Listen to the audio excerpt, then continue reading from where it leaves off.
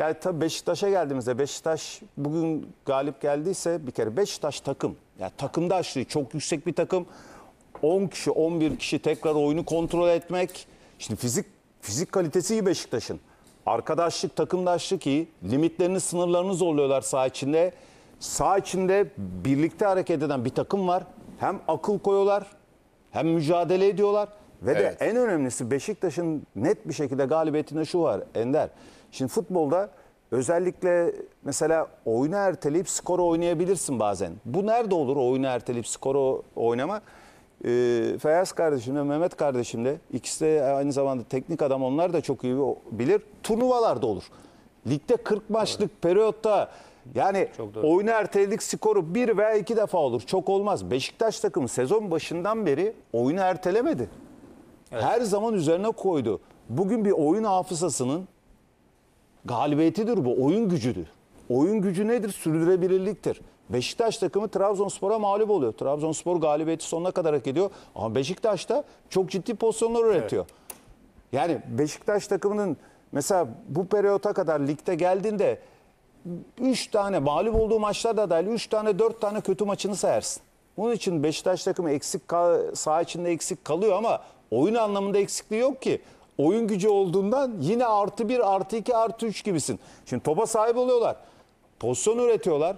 Final paslarına veya son vuruşlarda biraz daha etkili olsa daha önce maçı koparırdı Beşiktaş. E, rakibe, rakip senin söylediğin gibi yani ilk devri Fenerbahçe, Beşiktaş, Galatasaray'ı yenmiş bir takımdan bahsediyoruz. Pozisyon vermiyorlar. Yani burada en önemli dediğim gibi yani o Beşiktaş'ın özellikle o oyun gücü, sürdürebilirliği, oyun hafızası, takımdaşlığı ve de saha içinde sanki Beşiktaş takımı kolej gibi hareket eden, senkronize olmuş, büyüğüyle, küçüğüyle, gireniyle, çıkanıyla, tribündekiyle, tribündeki oyuncusuyla böyle bir sağlam bir tutarlı birliktelik var. Ee, Mehmet sen şey şaşırdın mı? Sergen Hoca'nın Larin'i çıkartması, e, Abu Bakar'ı çıkartmasına. Eğer bir sakatlığı yoksa. Yani gole ihtiyacı vardı. Enkudu girdi. Bir yorgunluğu çıktı. vardı gibi Yorgunluk sanki. mu? Yorgunluğu hissediliyor. Başka oyuncularda da var. Sadece hani Abubakar üzerinde değil. Yani Joseph Abubakar Vide'ye çok fazlasıyla yük bindi. Beşiktaş bugün yani 65-70 dakika oynamak hiç kolay bir şey değil. Ki 5 maçtır kazanamayan bir Konya Spor takımı var. Beşiktaş da 2 maçtır kazanamıyor. Ama Beşiktaş takımının geneline bakıldığı zaman Beşiktaş takımı bir şekilde pozisyon buluyor. Bugün Konya Spor üzerinden okumak lazım aslında biraz da okunup. Konya Spor takımının yerinde bugün Beşiktaş biraz şanslıydı. Eğer bugün 10 kişi kaldıktan sonra Beşiktaş rakibi Konya Spor değil de farklı bir takım olmuş olsaydı çok farklı bir senaryoyla karşı karşıya kalabilirdik. Neden? Çünkü Konya Spor'da bir önce Real söyledi oyun da çıkmıyor. Yani 5 haftadır kazanamıyorsun. Zaten orada sıkıntılı bir süreç var. Hoca ile alakalı inşallah daha farklı şeyler olmaz ama süreç hoca için de kötüye gidiyor. Bugün daha farklı bir takım olsa Konya Spor hiç tehdit etmedi Beşiktaş takımını. Tabii ki Beşiktaş takımı buna e, karşı koydu ama e, 10 kişi kalıyorsun 65 dakika hücuma gitmedi Konya Spor. Ha git, gitmedi veya gidemedi ona bir şey söyleyemem ama bir e, artık şey yapması lazımdı. Konya Spor biti- Reaksiyon tabii, gösteremedi. Reaksiyon sonuna kadar hiç gösteremedi. Beşiktaş'ın burada tabii ki çok büyük etkisi var. Yani oyuncular inanılmaz motive olmuş. Maç bittikten sonra Josef'in haline bakıyorsun. Yani yorgunluk değil de o hırsı, kazanma hırsı onlarda çok fazlasıyla var. Beşiktaş takımı bence bugün altın değerinde 3 puan aldı. Ee, 10 kişi oynanarak da maçın nasıl kazanabileceğini bence herkese gösterdi. Bu sadece oyun olarak çok fazla bir şey söylemiyorum ama mücadele olarak Beşiktaş takımı bugün e, herkesten çok fazlasıyla hak etti. Fenerbahçe derbisinde de benzer şekilde 10 kişiydi. Tabii. Yine kazanmayı başardı ki bu e, şeyi var. Bu alışkanlığı var ama hani bu kadar yoğun trafikte çok daha çok zor. yük bindi ama oyunculara. Şimdi bundan sonraki bu sıkışık takvimde bence çok büyük zorluk yaşayacak Beşiktaş takımı.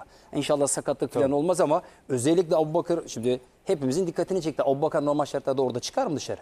Ama oyuncu bitti. Biz, ser- kazanman biz zor- Feyyaz zaruri. Tabii. bir pozisyon var. Hatta dedi ki Abubakar aldı gitti gitti ama son hamleyi yapacak artık daha gücü kalmadı.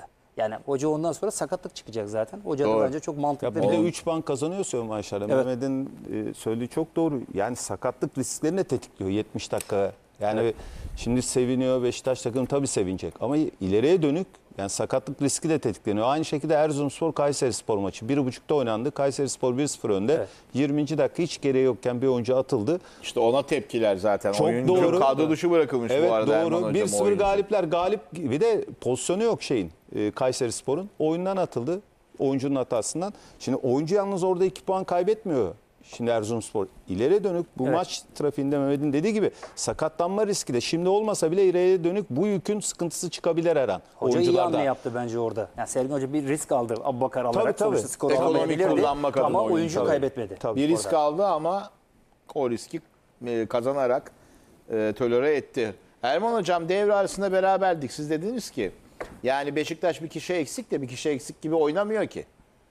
11'de olsa böyle oynayacaktı 11 kişi de. Aynı şekilde devam etti. E, aradı aradı aradığı golü buldu ama çok mücadele etti. Çok istedi. O e, takım olarak birlikte hareket edebilme e, özelliğini de net bir şekilde sahaya yansıttı. E, sizin adınıza e, Beşiktaş için bu e, puanları da 48'de eşitledi. İki haftalık kayıp sürecinden sonra ligde ben de varım mesajı mıdır güçlü bir şekilde. Bir de Konya açısından da e, yani büyükleri yenen Konya'nın bu durumuna ne dersiniz? İlk yarıda 4-1'di Beşiktaş maçı. Ben mi yanlış hatırlıyorum? Kaçtı? Öyle 4-1 olması Dört. lazım. Şimdi Beşiktaş bugün kazandı. Tamam maçın dörtte üçünü 10 kişi oynadı. Hemen hemen. Tabii. Hemen hemen dörtte üçünü 10 kişi oynadı. Çok mücadele ettiler ama tamam Beşiktaş 10 kişi oynadığı zaman da iyi şeyler yaptı Konya'nın karşısında. Konya takımı takım değil. Bir. yani- Kaybetmiş takım olma Bak, özelliğini. Takım değil. Tamam Beşiktaş bugün kazandı. Çok mücadele ettiler içeride kalanlar. Ama Beşiktaş o çıkış dönemindeki Beşiktaş da değil. He. Şu son 3 hafta falan bakıyorum. O çıkış dönemindeki Beşiktaş yok. Onun ne olduğunu Sergen de biliyordur içeride halledecektir. Konya Spor takım değil onu söyleyeyim yani. Dua etsin bugün Beşiktaş 10 kişi Konya'ya karşı oynadı. Çok mücadele ettiler. Ama Beşiktaş bak mücadele ediyorlar ama şimdi Abu Bakar 10 kişi kalınca çocuk 35 metreye falan gelmeye başladı ya top çıkarmak için. Çünkü Abu Bakar'ı orada sen enerjisini harcarsan Abu Bakar sana içeride lazım, cezalar içinde lazım. Orada diri kalacak ki Abu Bakar ayak içi vuracak, üst duracak, kafa vuracak, gol atacak. Sen Abu Bakar 35 metreye çağırırsan ki çağırmıyorsun. Geliyor çocuk mecbur. Görüyor oradaki O sıkıntıyı. da görüyor. E zaten yoruldu. Ama o zaman Abu Bakar oraya çağırırsan ne işin var? Sen o zaman bir orta sahaya al. Abu Bakar'ı çıkar. Bence doğru yaptı. Çünkü Abu Bakar çok fazla kendini harcadı. 10 kişi kalınca. Aslında bugün o sol bekin sol bekten bir hesap kesilmesi lazım. Orada nasıl atılıyorsun arkadaşlarını satıyorsun. Arkadaşlarını sattı. İlla satmak parayla pulla olmaz işte böyle satarsın. Yaparsın böyle bir futbol ukalalığını satarsın. 10 kişiyi de hale sokarsın. Oynadığın takım şampiyonluğa oynayan takım. Ya onun da şeyini keseceksin yeri gelince hesabını. Onun acısını çıkaracaksın abi. Onun acısını çekecek. Diğerleri de örnek alacaklar. Rıdvan da yok. topçular. Yani Ha, Rıdvan gelene kadar oynatırsın da. Ondan sonra hesabını keser. Onun hesabını keseceksin ha. Bu maçta o işi yapanı. O arada bir çift lafı mahkeme var. Pozisyonlara bakacağız. Evet. O ayrı. Beşiktaş'ın attığı golde mükemmel oynattı. Hakikaten. Bence golün Avantajı yarısı da hakemindi. Aynı pozisyon Konya'nın dakika 90 artı 2 kestin. Niye kesiyorsun ya? Bırak onu da oynat ya. Olur olmaz. Hep kurt var kafada. Bırak onu da bırak. Çok güzel bıraktın burada. Çok güzel bir gol. Senin payın var golde. Fauldü. E orada aynı olay oldu. Bütün Konyalı topçular başına gittiler. Oluyor mu diye. Orada verdim burada niye diyorlar. Bak detay. Atar atmaz. Sana ne? Şimdi bazı isimler vereceğim mesela. İlerleyen saatlerde hakemlerle ilgili bazı isimler vereceğim. Evet. Yani MHK artık iyice şey yapmış. Yani büyük takımların lehine öyle büyükler büyükler diye yapan hakemlere ne var ne maç belli bir müddet. İsim vereceğim. Öyle Duyduğum isimler artık daha da ilave isimler olacakmış, Artık hoşgörü göre. yok değil mi? Yapıyorsanız öyle büyük takım diyorlar. Çünkü Serdar Tatlı öyle demiş. Önemli Hatta şey. bazı konularda mesela Yaparlarsa. duyduğuma göre gene mesela bir hakem işte Trabzon kanadındanmış, baskı yiyormuş bu hakeme maç verirsin filan diye. Demiş ki hiç bana kimse telefon telefon açtırmasın arkadaş. Yani bayağı iş, bayrak açılmış. Ama doğru yapar. Nasıl olsa yollayacaklar. Nasıl olsa kovulacaksın bir müddet sonra. Hiç olmazsa şanından git. Geriye olumlu iz bıraksın. O kadar. Yani her görevin bir süreci var hocam. E, Süresiz görev yok. Şimdi isimleri söyleyeceğim size yani. Benim duyumum bunlar ki bunlara daha ilave olabilirmiş.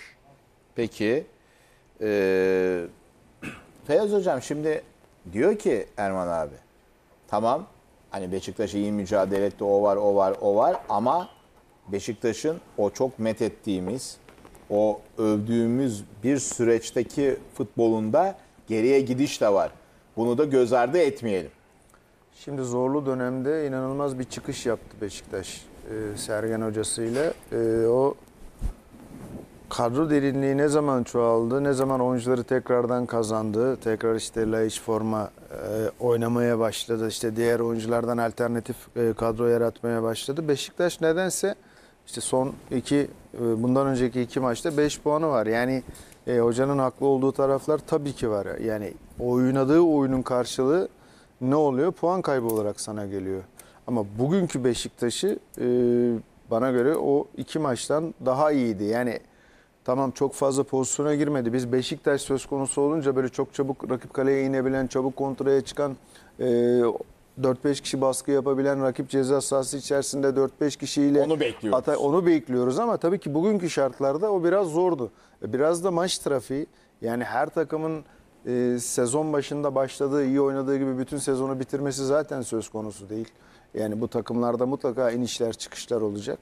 He, bugünkü galibiyetle birlikte ben inanıyorum ki Beşiktaş yavaş yavaş tekrar o çıkış yakaladı. O eski o hızlı, o dinamik, o agresif Beşiktaş'a tekrardan e, dönüşeceğini e, umuyorum. Bir bekliyorum. moral kondisyon olmuş. Kesinlikle yani 3 puan e, onun için bir başlangıçtır. Bundan Siz sonraki Rea haftalar için. Hocam ne dersiniz? Yani Beşiktaş'ta oyun anlamında bir geriye gidiş var mı? Bir e, hücum performansları da rica edeyim sevgili Tolga maça ilişkin bu arada. Ee, yani çok geriye gidiş olduğunu düşünmüyorum. Şimdi e, Erman Hoca o anlamda doğru söylüyor. Aynı tempolarda belki oynamayabilir ama şimdi bu maç trafiğinde hem kupa oynuyorlar hem lig oynuyorlar. Ara sıra o gelgitleri takımlar yaşayabilir ama Beşiktaş takımı yani artı eksi gibi bakacaksın. Bilanço gibi Ender. Ama artı daha fazla bu iyi oyunu oynadığı maçlar daha fazla. Bu ne oluyor biliyor musun? 10 kişi kalsan bile maça ipotek koyuyorsun. Şimdi bunu e, s- mesela Anadolu'da ben oynadım. Hafta içine büyük takımlarla maçı, maç oynayacağız şimdi ligde. Bakıyorsun ya Beşiktaş ya Beşiktaş diyorsun ki ya formda işte nasıl olsa gol atarlar. Psikolojik hafta içi çalışırken böyle bir sıkıntı yaşıyorsun. Antrenörlük yaparken ya işte Fenerbahçe formda, Galatasaray, Beşiktaş hangisi, Trabzonspor ya o işte veya formsuz ya yenebiliriz bak bu takımın üzerine gidersek yenebiliriz. Öbür türlü yine bir plan yapıyorsun ama bir yere kadar kalıyor. Oyun gücü, oyuncu kalitesi fark yaratıyor saha içinde. Beşiktaş'ın şimdi bu böyle bir hafızası oturmaya başlayınca bu hafıza ne yapıyor? Rakiplere de aynı şekilde bir korku salıyor. Şimdi Konya Spor biz diyoruz ki ya Konya Spor evet çok kötü oynadı. 11-10 bile kötü oynadı ama hafta içi hazırlanırken bu maça diyor ki Beşiktaş takım bu. Beşiktaş yani iyi oynuyor. Isı haritasına bir anda Evet. gözüm takıldı. Kıpkırmızı yani Evet. Beşiktaş adına. Yani- alev alev yanıyor. Be- Ve 10 kişi bu takım. Tabii, Beşiktaş yüksek enerji koydu. İşte diyorum ya bir kolej havasına, bir takımdaşlığı çok yüksek bir takım. Bu ne oluyor? İşte, e, Konya Spor geliyor İstanbul'a diyor ki ya Beşiktaş'la tam oynuyoruz da ilk devre bizim farklı yendiğimiz Beşiktaş değil bu. O Beşiktaş'la bu Beşiktaş arasında siyahla beyaz kadar fark var. Yani maça zaten sağ içinde de bunu hissettiriyor. Maçtan önce de. Ne oluyor 10 kişi kalsan bile maçı bu kadar iyi oynuyorsun. En sonunda son 10 dakika kala yine bir gol buluyorsun. Yani Beşiktaş'ın işte oyun gücü dediğim bu. Bazen çok kötü de oynasan bile yani ara sıra o kötü oynadığın maçlarda bile o ipotek koymak çok önemlidir oyuna. Rakip takım o baskıda kendi kalesine bile hata yapıp gol atabilir.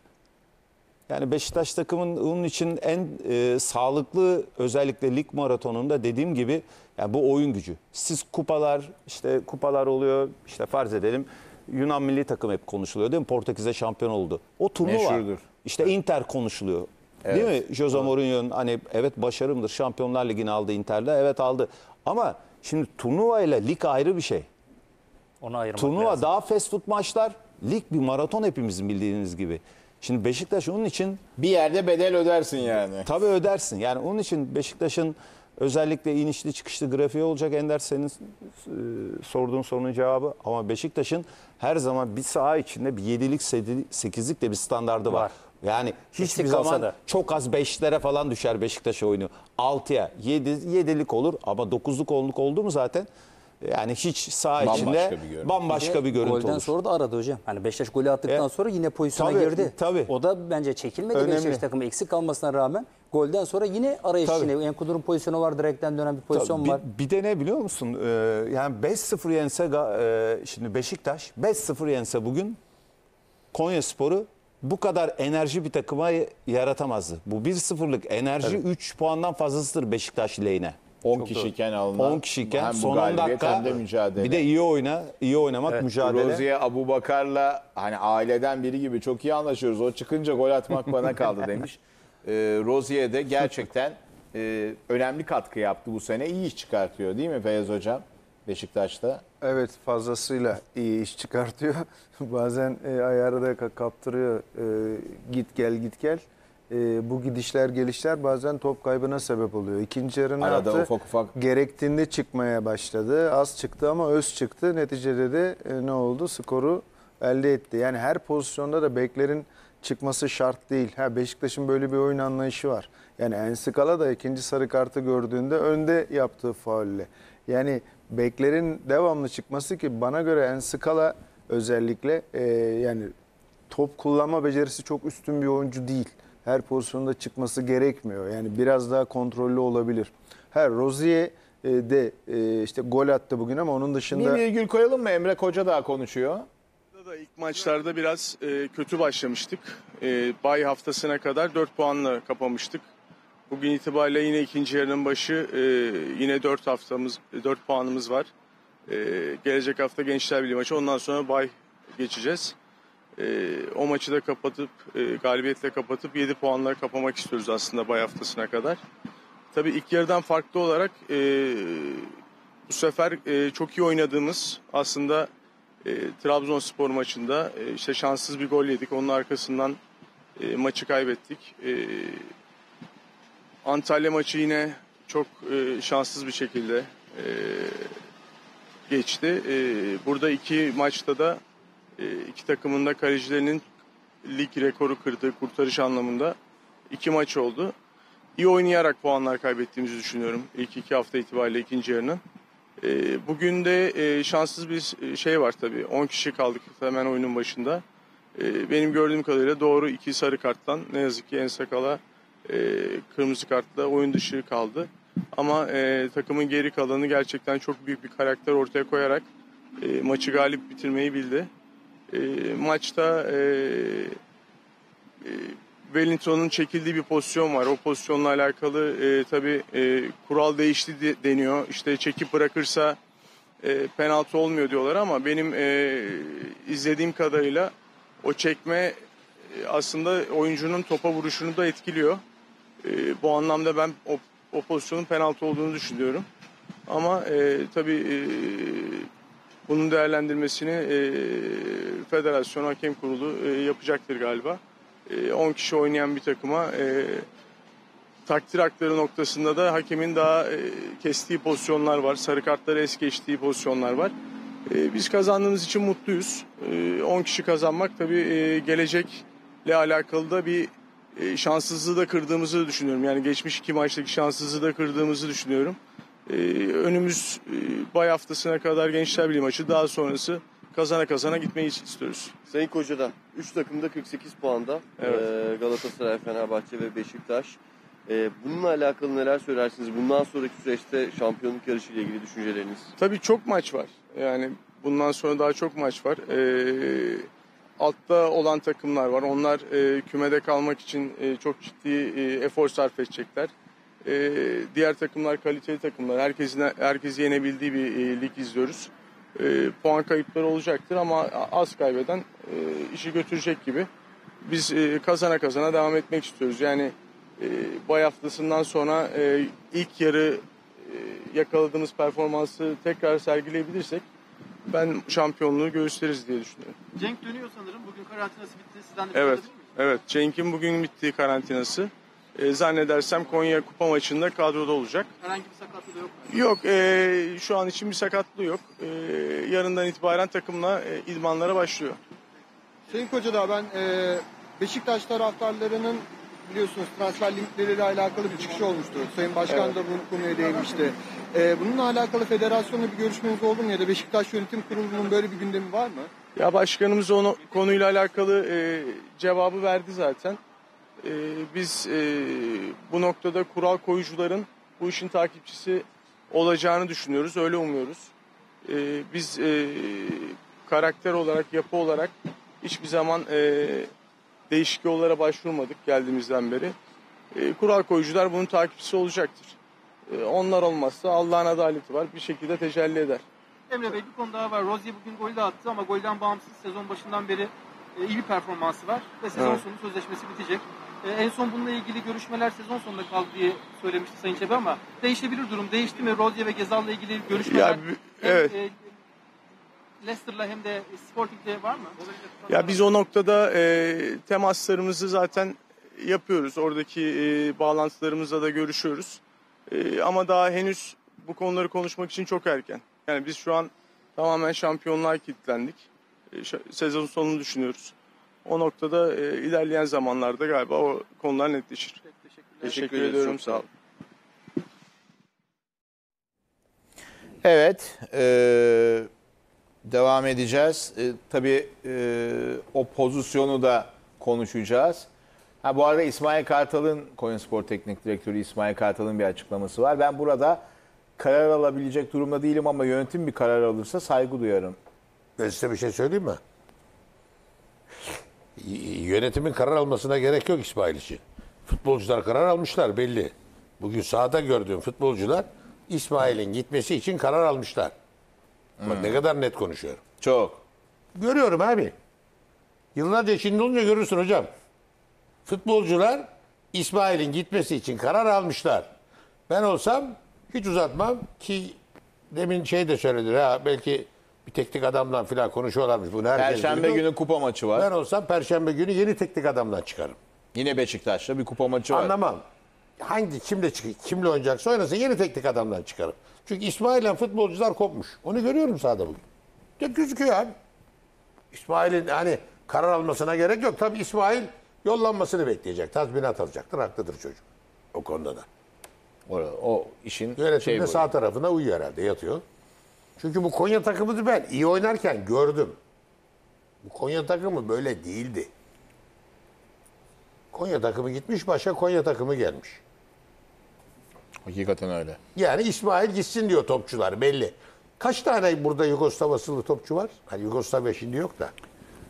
5-6 tane var. Yeltovic tane var. Partizan'dan iki sene önce aldı dört. onu. Kaç tane var abi? Rahmanovic var. Rahmanovic. 5 5-6 Milosevic, tane var galiba. Milosevic var. Hocam, Milosevic en var. tehlikeli iş odur. Aynı ülkeden çok Öyle oyuncu. bir grup olursa hocam hele menajer de aynı olursa yanarsın. Aynı ülkeden çok oyuncu Hocam, tehlikeli hayatta diyorsun. sokmayacaksın. Bak neden bahsediyorum ben size. 1-2. Bunu sokarsan bir defa yönetici de kim sokmuşsa yönetici olsam sokmam. Öyle altı tane hani şey kökenli, Yugoslav kökenli diyelim. Ya da X bir ülke. İlk Hangi ülke? sokmam abi. Öyle altı tane adamı sokup oynatmam abi. En karan olsa iki kişi. Üç olmaz. İki. Gruplaşma olur diyorsunuz. Hiç imkan yok. Yeni topçuyu da oynatmazlar. Yani öyle şeyler geliyor ki haberler inanamazsın ya. Büyük takımlardan da geliyor. Bazı şeyleri zamanı gelince söyleyeceğim size. Şaşıracaksınız. Tamam hocam. Bir de o grup Erman Hoca'nın dediği gibi 6 kişi de olmaz değil mi? O grup 12-13'e çıkar. Güçlünün yanına herkes Sen bütün oyuncular abi? oraya doğru Ya gider. bir de işin o yönü var. Antrenman Tabii. yaptıramazsın Tabii. ya. Antrenman yaptıramazsın. 6 kişi de kalmaz yani. Böyle oynarlar, böyle yaparlar ha. Böyle hop gidersin. Erman Hoca'nın söylemek istediği o yani. yollarlar. Tabii. Kaya. da zaten Yani zaman zaman dönem dönem oldu da bunlar oldu. zaten. O dayanışmaları Tabii, dönem dönem gördük. Evet. Yani bir içlerinden birisi oynamaz. Hani Konya için söylemiyorum. Mesela bir oyuncu oynamaz. Ya o niye oynamıyor der. Büyük takımlarda bile gördük. Ama bir dakika. Ne Ya uzun ben sana zamanda. şey Oynatırlar. Ender onu. Ben sana yalnız bunlar teknik adamla oynamazlar. Yöneticilerle de oynarlar.